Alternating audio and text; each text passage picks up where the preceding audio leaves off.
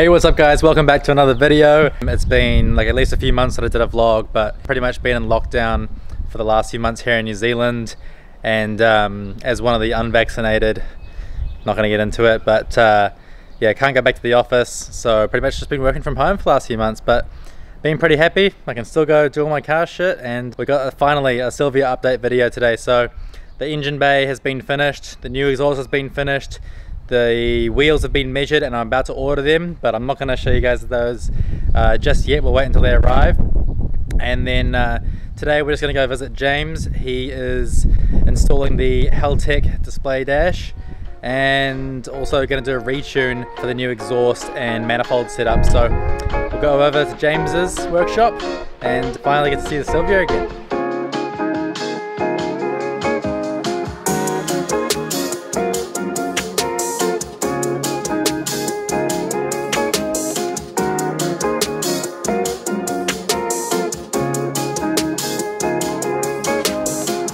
Guys? So we just got to JT's shop. Uh, we got the Silvia here on the dyno.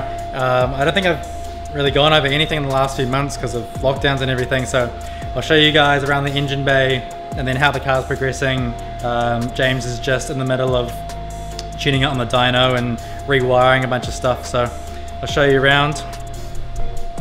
This is the car in its current state. So pretty much just a Frankenstein but Min and the boys over at Spec 2 have done an incredible job on the engine bay. So bear in mind the rocker cover still needs to be painted. That's going to be matched the color of the body, which is yet to be revealed. And the engine bay, all of this will be the same color. This Nardo grey that we've got in the interior. Super messy right now. Everything's just an absolute shit show. But um, yeah, we, it spent a few months at one shop during lockdown and um, they managed to get everything done. So we've got new radiator from Phoenix, all new radiator hoses everywhere, brand new intercooler. I'm pretty sure it's custom made, full custom made uh, piping for the hot side and the cold side. Then we got uh, the brace, the intake manifold, and what else? And then we got the brace and the intake manifold pro coated. So they're just like a really nice gloss silver now. Uh, we got a custom catch can made. And then we got these awesome uh, AN lines for the oil. So we're cleaning up a bunch of the engine bay. We removed a bunch of the stock wires and you know all the random little things, just tidying it up. So when we go to paint the engine bay, we'll have to just you know take all these stuff off, give it a um, probably take the hot side off, take all that, spray the engine bay, get it all sorted, but it's looking really good. And more importantly, it'll just be, you know, we never even had any heating problems before, but we definitely won't have any now, this massive intercooler.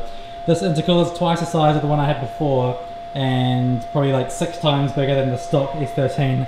And this is still stock engine, mostly except for the turbo. So yeah, super excited. I'm gonna get a little um, cover for this because it looks pretty rank and we'll probably relocate a few more things or I don't know delete some stuff. I yeah.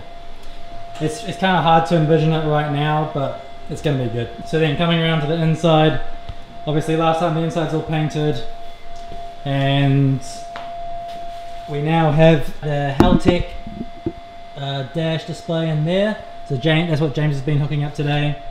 So they also made me this custom it's kind of hard to see this custom manifold it's uh, unequal length headers, so two of the headers are a little bit longer than the others.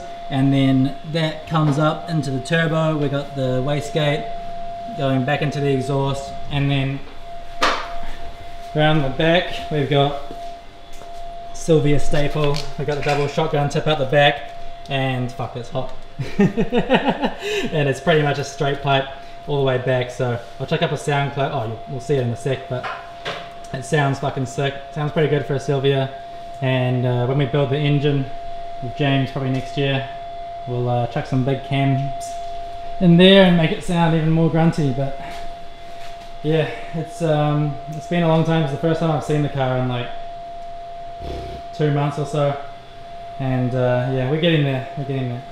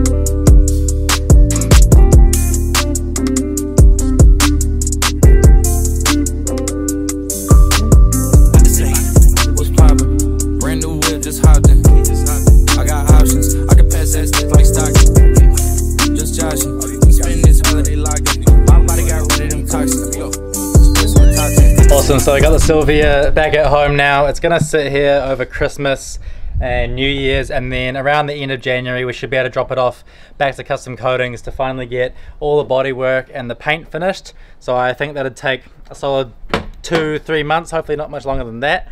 Um, other than that, we just need to order the wheels, which I'll do hopefully in the next week or two. I ended up needing to spend a lot more on wheels than I thought because these rear arches are just crazy big. We couldn't find a single wheel in stock in New Zealand, let alone through most usual usual companies.